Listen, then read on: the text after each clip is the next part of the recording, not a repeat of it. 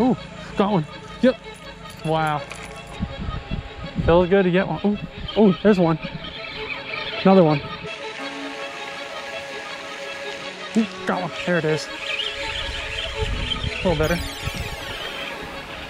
Ooh, best one all day, for sure. Let's go.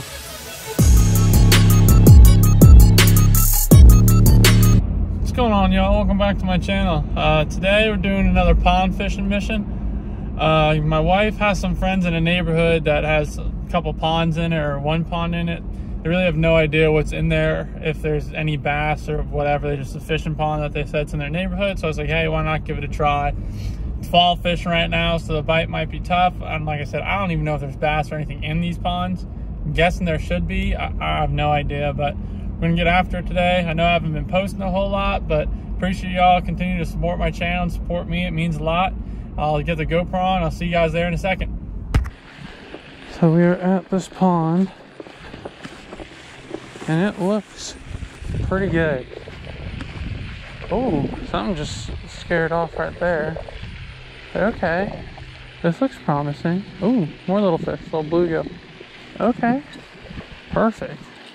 Thought it was gonna be smaller than this, but looks awesome. Now, first way I'm gonna use is this cast fishing topwater bait down under. It might look like a normal popper, but I'm gonna show you guys here in a second. It is anything, oh, that was a bass, I think. It is anything but that. So you can cast it out. Difference between this, you know, a normal popper, you're just gonna try to pop like that. This one, put some slack in the line and basically swing your rod down. What that's gonna do is gonna create a huge bubble trail behind it and it's gonna have it dive under the water, hence its name down under. It's gonna give it a good pop down below, pop it up. Something probably these fish haven't seen before, I'm hoping. And just gives a huge bubble trail behind it. And hopefully enticing a couple fish to snack on it. So we'll see here. I'm throwing this on my Okuma ITX 3000 and the Okuma Psycho Sticks 7.2 medium light and I'm using 15 pound Beyond braid. Might not be the most perfect setup for this, but it's gonna do the job just fine. It's a go-to combo for me for kind of all my techniques. See if I can get a little closer. There we go.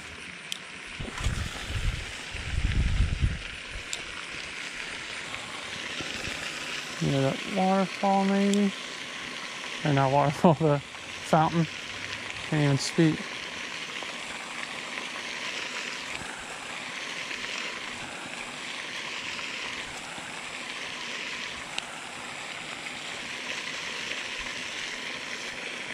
Oh no. That just pop off? Oh, I gotta get that somehow. All right. Now I gotta rescue my lure somehow and hopefully it brings this way here. But as of now, I gotta retie on and try to figure this out. All right, so re-rigged. I have this little mini Guggenfeld Zinger spinnerbait. And for the trail, I put one of the cast, or cast fishing right here, a little swim bait. The Prodigy swim bait right here, the chartreuse. So hopefully got, that gives it a little extra kick to it and hopefully can entice more bites. I am watching my lure that snapped off kind of get pushed more and more from the fountain to the shore. So when that gets closer, I'm gonna obviously snag that back up, but still gonna go try out here and see if I can catch some fish. Trying to see if I can.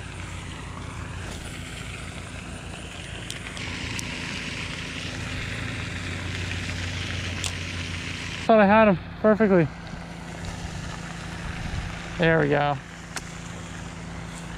Thought, thought I was leaving without this lure, but it'll be outside your mind. Lure retrieval success. So, putting that in there for now. So we know that's a go. Now we can focus on just regular bass fishing.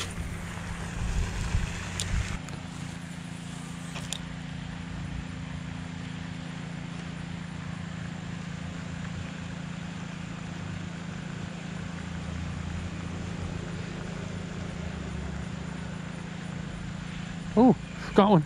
Yep. Wow. This could be the smallest largemouth. One of them I think I've ever caught in my life. Alrighty. Well, we are on the board, ladies and gentlemen. Gonna take this out. Alrighty, I'm trying to get a nice little underwater release for you guys, but guess one dink is better than none.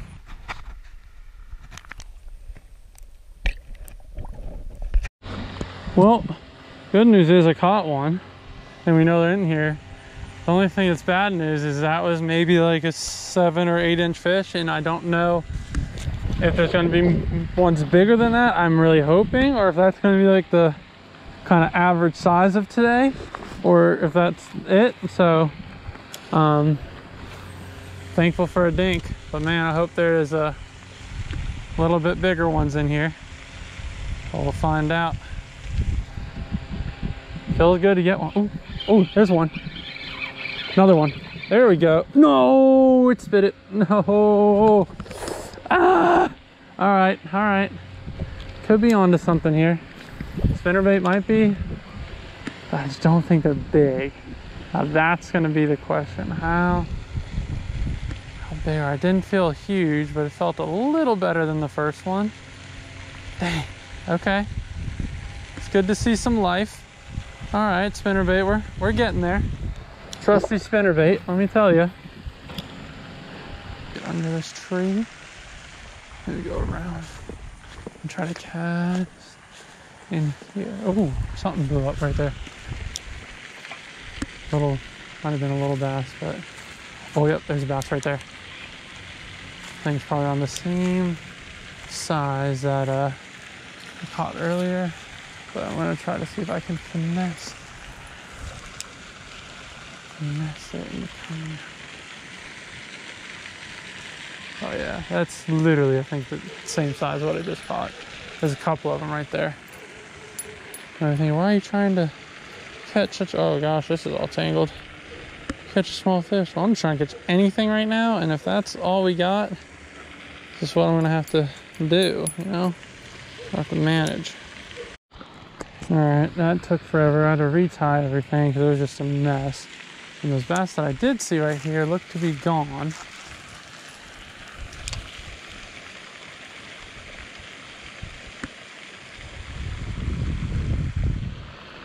Grant. Oh, there we go. Nope, they're still here. Yes, sir. Let's go.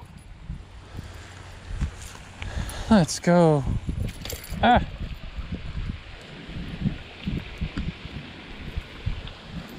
Yes, sir.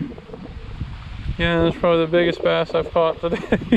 and it's like 10 inches, but I wanted that spinnerbait. I was hoping it'd come right back for it, and sure enough it did. So, get a nice little release. I'll take a picture real quick and get a nice release in a second.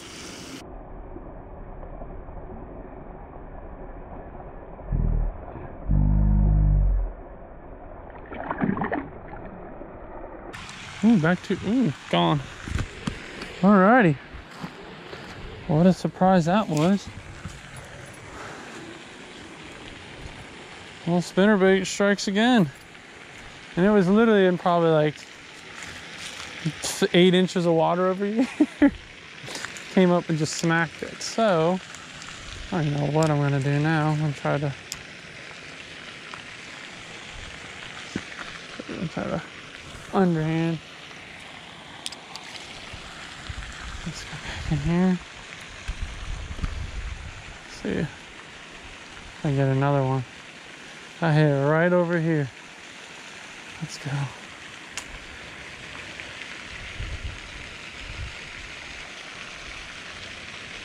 All right.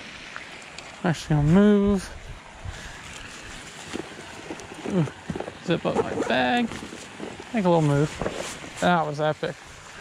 That's well, I bet that was one of the ones I saw. They were hanging literally right here down by this drain. And then it left. All of a sudden it came. Try to throw it in there, just hoping. And I got it. That's a clutch. Alright. Now to a little more open area, but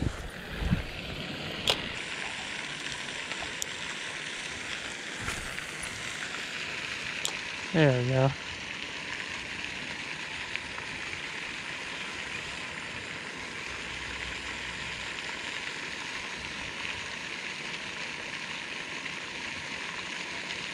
Got one. There it is. A little better. Ooh, best one all day, for sure. Let's go. That's what I'm freaking talking about. That's what I'm talking about. It's better fish. Let's go, man. What a pretty one. At be right in its mouth. Let's go. That's that's better. Right in the corner. Pop right out. There's that. Let's go, guys. Alrighty. Not bad for number three. a nice release of this bad boy back in the water. Get a nice, actually I'll do an underwater release for you guys. Try to get it, hopefully it's clear.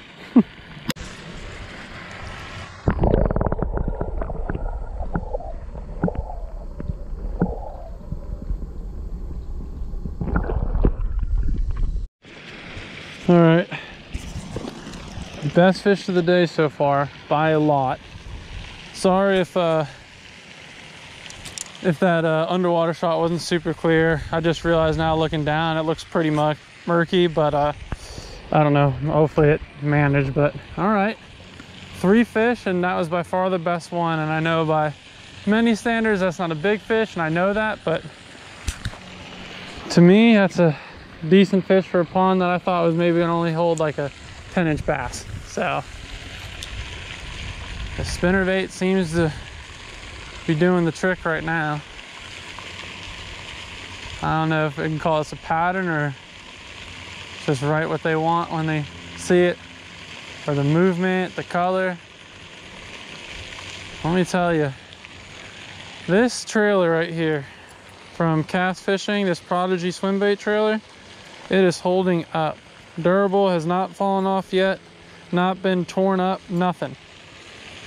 I mean, shoot, I stand by those guys, those swim baits just by themselves alone. And then now to add them as a trailer, I mean, that's just, that's just deadly. And this little swim, or little uh, spinner bait right here seems to be doing the trick too. So the good news, this pond has turned out to have been a success in the fact that there are bass in here.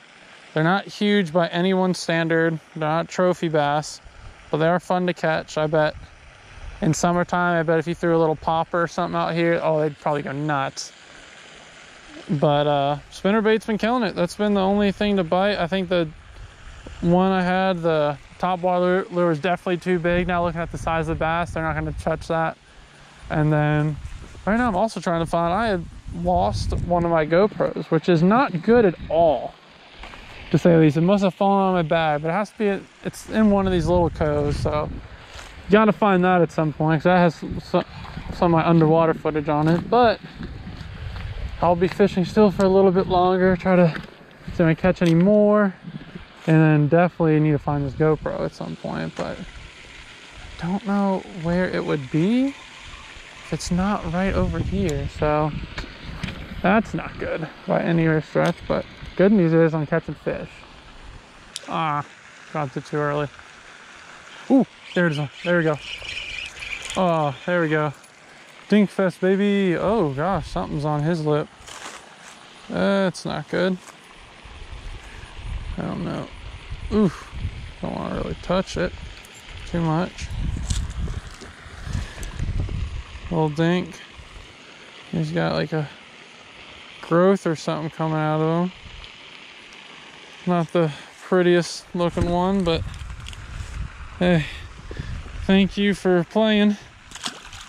Alrighty. I think that's even smaller than the first one I caught today.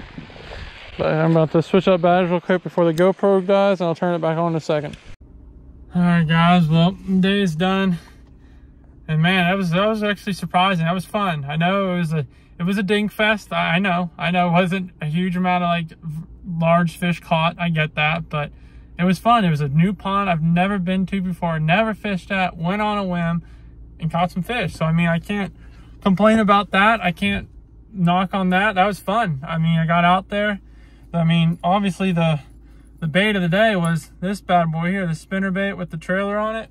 I mean, that was the key to success. I, obviously, the fish were not that big. I mean, the only fish that maybe could have eaten my uh, top water bait was uh, the, the second to last one, I think, was the biggest fish I caught was like maybe 15 inches at most, given maybe probably 13, 14, I don't know.